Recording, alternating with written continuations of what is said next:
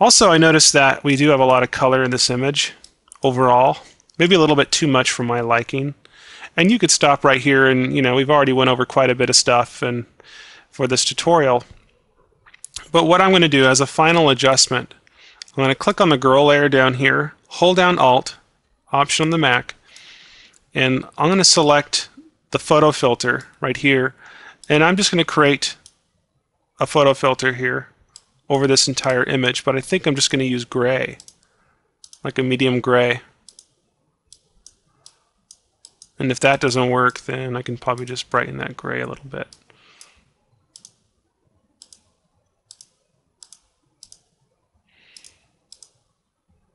This is before, and it's a very slight change. You can see this is uh, this is after. So let's go ahead and zoom out and take a look at it. Looking really good. And it looks like I could probably paint a little bit more down here. There we go.